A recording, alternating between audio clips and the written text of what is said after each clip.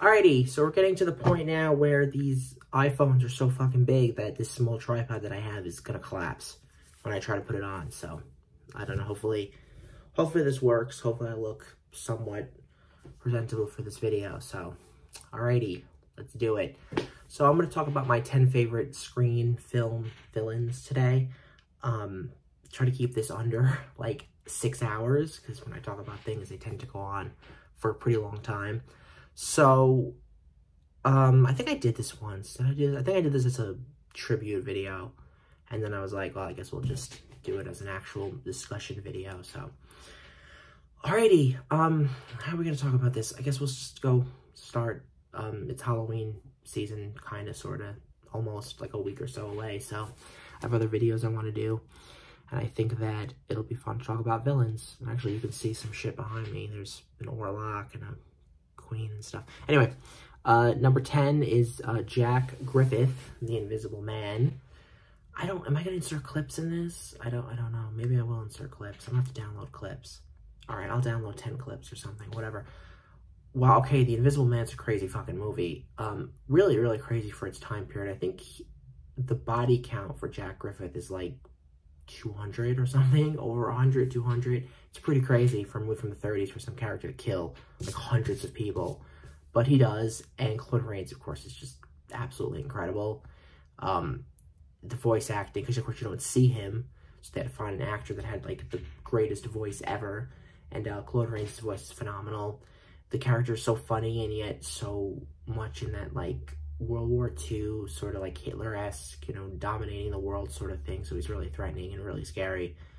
Um, all the special effects are incredible. I still don't really understand how they did it. I mean, I kind of do, but at the same time, it's like the like matte black velvet that they had to film like six times or something. It's, it's fucking wild. So Jack Griffith's a great villain. Um, the Invisible Man is just a great movie. So that is my number 10 spot.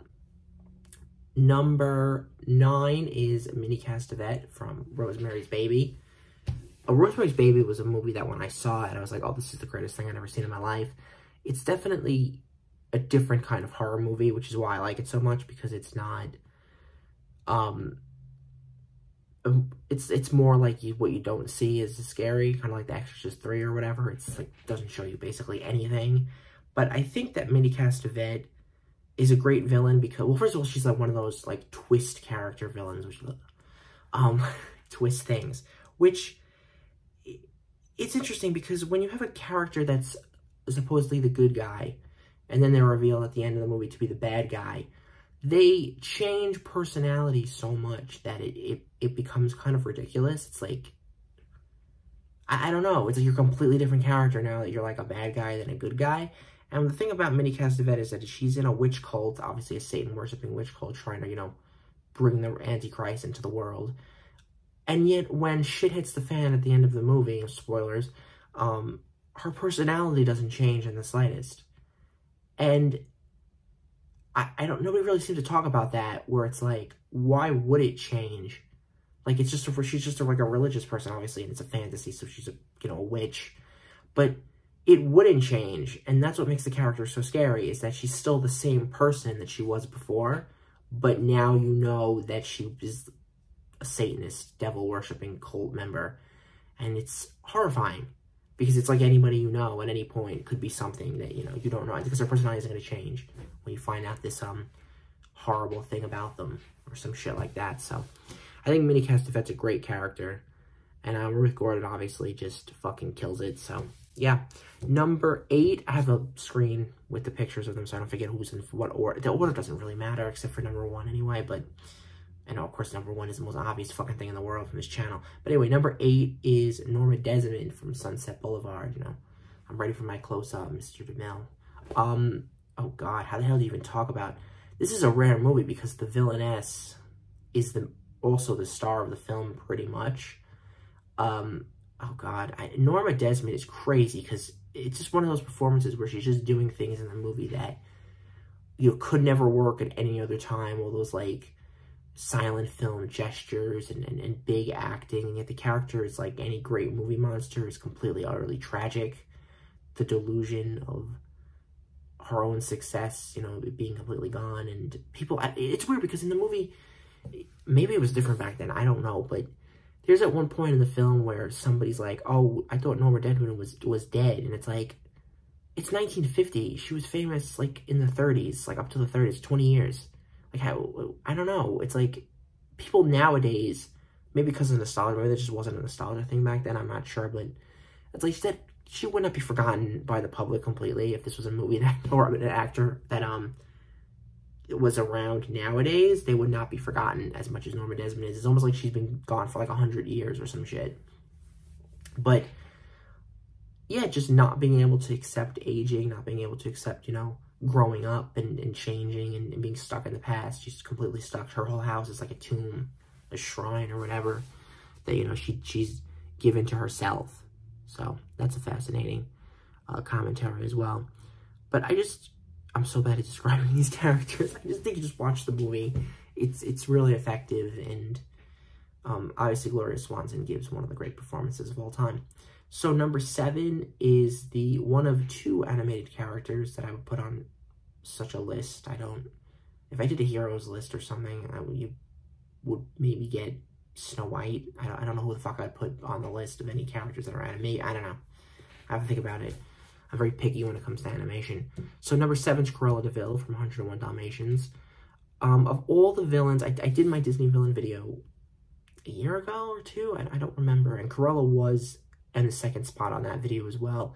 I only really think the studio ever made two great villains, and I think that Cruella is a different type of... Well, first of all, she's a funny villain, a funny villainess, but funny in her personality as opposed to being a joke. She's never a joke in the film. She's more just like a force of nature, and the, the funniness comes from the exaggerated nature of the character as opposed to her falling down and all kinds of shit. There's only one scene in the whole film of any slapstick that involves the character. So I thought that was pretty fascinating. But no, it's it's it's more or less the satire. It's the the caricature of it. You know, the person that you know. We all know someone like this. Maybe we have tendencies that are like this. Um, and the person that doesn't doesn't uh, shut up or let anybody else talk.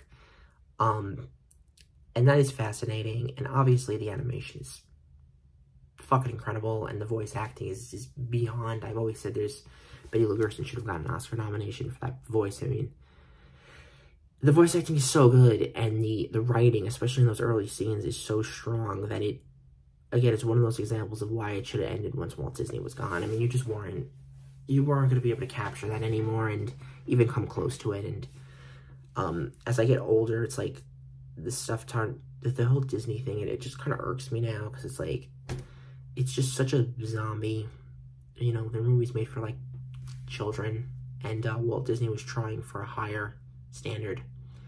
Um, and I think Cruella is a great example of that. And she's also a self-destructive character as well. You know, she can't be destroyed at the end by the heroes.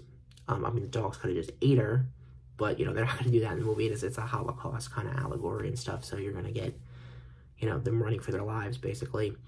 But she does herself in, doesn't die or anything. Um, I don't really think the character would make sense if she died, though that would have been weird. But yeah, self-destructive, so. All right, so we did 10, 9, 8, 7, we're up to 6. 6 is the final uh, Universal character, or the monster character, and it's Dracula. I mean, it's, it's pretty obvious. Um, I'm obsessed with Dracula. I um adore Dracula. I still don't going to put clips in of this. This might just be a video of me talking. I don't, it's really just might be just me talking. I'm to do any editing on this video. It might just be me blabbing or whatever. Um, oh god, Dracula is, is fantastic. Lugosi with the hands, like, you know, coming at you and stuff is, is wild. I don't, all his facial expressions and stuff, it's, it's such a singular performance. And I do think that Dracula, um, I'm going to do a whole commentary next month on Dracula. I'm sure to watch the film and talk about it, but it is like the most classic movie you can ever see in your life because the movie is kind of messy. Um, but the Dracula character, he's just so individual and distinctive and just so totally like just himself in that movie and there's like nothing else like it. If anybody else even tried to do something like that, it would come across as like really weird and strange and off-putting. So I just think that the Dracula, great, the fucking fan went on, the AC, great. Um, the Dracula character is just so singular, and I think that Lugosi just was more responsible probably for the creation of the American horror genre than even the film itself. I think that he just propelled it into a level that um is quite strong. So yeah, I gotta put something in here, right? I gotta put a clip.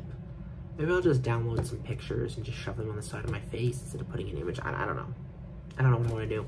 Probably that. I'll probably just download like 10, 10 images or something and just throw it in there. All right, so number five, I was a little bit conflicted with number five because I didn't know what Orson Welles I wanted. I didn't know if I wanted Harry Lime from The Third Man or, uh, would you believe I forgot his fucking name? Hank Quinlan. Hank Quinlan from Touch of Evil. And I went with Hank Quinlan from Touch of Evil mainly because I feel like the character is just a bit more tragic than um, Harry Lime is. Uh, I like that sort of thing, you know, the corrupt border sheriff who is harboring feelings of the past, you know, hatred from the past, and then can't get over it. Of course, that leads to, you know, corruption and racism and all kinds of nonsense. So, I think that Orson Welles does a great job. Obviously, he's in um, heavy makeup in this. I think he told a story once. My nose is now itching. I think he told a story once about how he um went to a party once in that makeup and people didn't even realize that he was wearing it. That's fucked. He's really grotesque in the movie and disgusting and everyone in the film is, is phenomenal. Um, Dietrich is great. Uh, Charlton Heston. Uh, what the fuck is Janet Leigh? Um, my boy jo Joseph Calleia uh, is phenomenal. Just a great movie, and I think Orson Welles is great in that role. Um, and I just wanted, I, I was felt weird to not have an Orson Welles in my top spot for for characters anyway, for villains anyway. I think he's a strong character. So number four is um, the swimmer. The swimmer, Burt Lancaster as the swimmer. What the hell is Burt Lancaster's name in the swimmer? I'm gonna have to put it on the screen. I don't remember Burt Lancaster's name at all. I don't even, wait, hold on. Why does he not, wait, hold on. I'm gonna look this up since the computer is right here. I don't wanna switch to Chrome. Son of a bitch. Wait, the swimmer. There's a movie where everybody's like, what the fuck is the swimmer? Oh, it's Ned. Ned Merrill. I, I thought he was just like Guy in the film. Ned Merrill. Okay. So, the swimmer, I gotta get the picture back up. The swimmer is crazy. Now, with um a character like this and the next one, you know, you wouldn't maybe see them on villains list, but I wanted to put them on the list because I, I, do feel like they're villains um, in a different kind of way, more not as, as strong like a, a, villain presence as maybe Orson Welles was or something or Cruella, but um, how do I talk about this character? It, it's self-destruction. It's the it's an allegory for the you know the American middle class kind of upper class dream being a joke. Uh, character is delusional.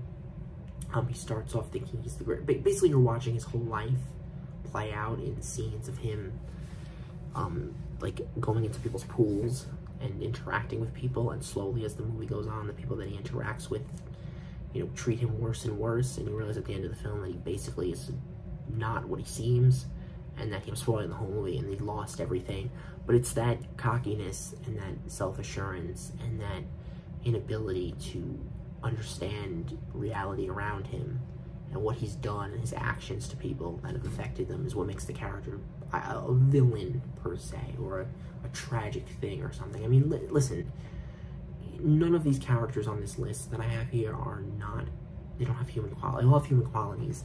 And the idea of, of making a film villain list is kind of weird because it's like, how, what the fuck is a villain? I don't know. I guess something that's just bad things. It's like every human does things to a varying degree that are bad. So but every single one of these characters I wouldn't have on this list if they didn't have some kind of quality to them that represents something that's human. And of course, this is that. And, you know, Dracula has the, um, wants to die, can't die sort of thing. Cruella represents the 1%. Uh, Norma Desmond, of course, is tragic. But uh, this Ned character is basically just the disillusionment of a certain type of person and a certain type of time period that was that had ended had it been built on, you know, giant swimming pools and shed and falsehoods and rich uh, yuppies or whatever the hell, whatever the word is, rich cocksuckers. okay. Um, number three is the other one I was going to talk about that I wouldn't, I, is more or less of a villainess, sorta, kinda, but not at the same time, and that is the character that Dorothy Malone plays in, um, I want to get her that right, I want to get her name right, too. I don't want to fuck up her name. In Written on the Wind, which she won the Academy Award for. Let's see, I don't want to get her, I want to say something, and then, yeah, Marylee Hadley, I was going to say Hadley, but I didn't know what the fuck her first name was. Um, oh god, she's the nympho who picks up men in her convertible um, and schemes and, and plots and tries to get Rock Hudson, even though Rock Hudson is not only not in love with her, but of course, you know, not straight. if I don't know if that was supposed to be like subtextual, but it's like if you're not getting with Dorothy Malone, there's definitely something happening here. But the character does have a change of heart after she like sambas her father to death or whatever, dances while her father's having a heart attack on the steps. Um, what I think is the most fascinating thing about Dorothy Malone in this role, and it's not even something that you would know about if you watch the movie, it's behind the scenes thing, and it's the fact that Dorothy Malone was not comfortable um, playing this character she was more conservative and didn't think that she could that she couldn't or that she wanted to be someone who was of this person you know, personality you know sexual sort of thing. You don't get that at all in the film. That is not apparent in the performance in the slightest which i'm glad she won the academy award for the performance. I'm, I'm glad it happened. But she did not have, if that was the type of actress that she was, she was that good, she did not have the career that she deserved, and I think it's a shame. I, don't know how you play that. It, there would be never for one second when you're watching the movie to not to think that this character is basically a religious, or the actor's playing the character is religious and, and more, um, you know, um, I don't, I don't know what the word is, just not promiscuous or whatever. So, anyway, I, I, I think she's great in that role. So, number two is Michael Keaton as Beetlejuice. Whew. Okay, so the new one had come out, what, like a week or two ago, three weeks ago? Um, it's, the the film, the original film was phenomenal. Uh, the, the, the, I was gonna say the remake. The sequel is good. He still has it. Um, it's toned down a lot from the first movie. Um, the Beetlejuice in the original film is very sexual, very perverted. Um, he's just gross.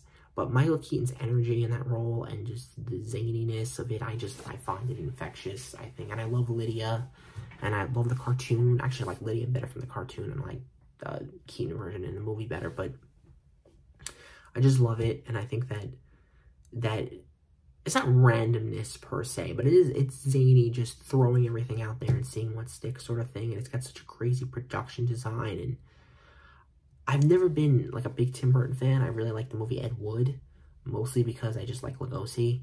But I, I think that Beetlejuice is a great film, and I've seen it several times now, and it's like, okay, I do love this movie. Like, I saw it for the first time, I was like, oh, this is, I didn't think I was gonna like this, and I saw it again and again, and yeah, it's, it's amazing.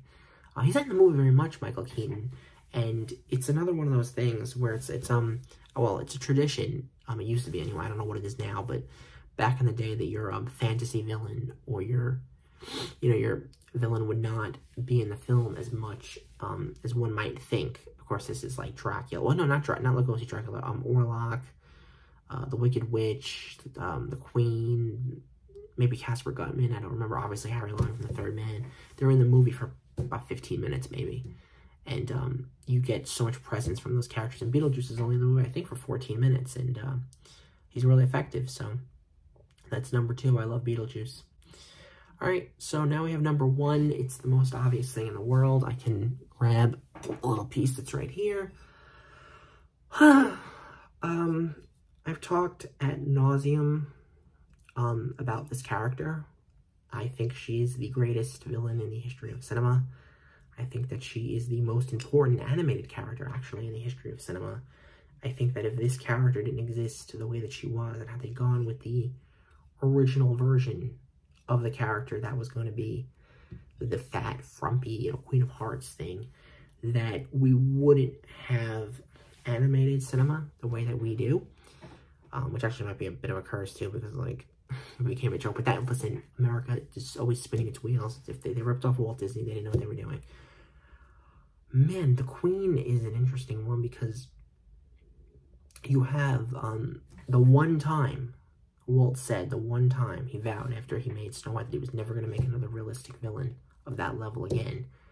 Not particularly sure why, but I do think that the story of Snow White lends itself to having a villainess that can be tragic and can represent something more than even what the story represents, of course, because the film is an allegory for the Great Depression and the um, incoming World War II, and obviously the Queen is a fascist dictator with the, you know, tragic insecurity foibles and, you know, turns herself into a witch because she assumes that the only thing that makes her important is beauty, so you have to give all that up, but at the same time, it ends up basically turning her into death itself to kill innocents, and also it ends up freeing her. And you know that the character, had she succeeded, well, she did succeed, she did kill Snow White, but I mean, had she lived beyond that point, would have turned herself right back into the Queen and been miserable the next day. It, she couldn't well, it's it's interesting that you had she had to become hideously ugly to then not need to hide anymore behind that mask and free herself. But ultimately, she had everything she wanted, and she could have just been happy the way that she was, and she just wasn't. And you could say that's society as well. I mean, like, you know, how did you get to this point where you're listening to a slave in a magic mirror basically tell? Because because the mirror, the mirror isn't telling her that Snow White is more attractive. He's just saying that she's more fair and to the queen, that's just a, you know, it's it's a, it's it's a beauty thing, but it's all also she she sold her soul, so it's like she doesn't have like this understanding or this. To her, those things are weaknesses: goodness, kindness, and beauty is, is an important thing. And with Snow White, there's no awareness that she even is beautiful, and the kindness and the goodness is just there. So the queen can't have what Snow White has because she's a horrible monster who's insecure and, and jealous and all that kind of stuff. And that's tragic, but she wants to then, you know, kill Snow White, and then hopefully that'll bring that to her, and it doesn't. It ultimately just end up destroying her. There's a lot of things to think about with the character that is not there in any of the other villains that the studio ever made. Like I said, Cruella is the only other one that is a great character, but it's a different type of thing. It's satirical and that sort of thing. So anyway, yeah, the Queen is um incredible. I just love her. I love her design, obviously, and in both forms. I love the, the apple and the, everything. It's just so fucking badass. Um, and I love the voice acting, of course, it's just phenomenal, in the animation and everything. She just, it's the only time that I've ever seen an animated character, really truthfully, that I feel like it's like a real person. It's like that was a drawing. It, it's really, especially when you get to, because it's a fantasy, it really fucks with me. Like, it has such a power to it that I totally believe in everything that's happening in the movie you just totally buy every single thing she's going through, every feeling, every emotion, and it's it's pretty tragic. It's pretty fucked up. So anyway, that's the list. So we went with um The Invisible Man, Minnie Castevet, Norma Desmond, Cruella de Vil, Count Dracula. The fuck is his name? Hank Quinlan, Ned guy, um, Harley, Haley, what the fuck? Harley, Harley. Oh my god. Mary Lee. Beetlejuice and the Queen. I don't know the char the character names or not, you know. If I want to say the guy from The Swimmer, it's going to be Burt Lancaster. I'm not going to say Ned. Um, yeah. But thanks for watching. Um, hopefully this was fun. Peace.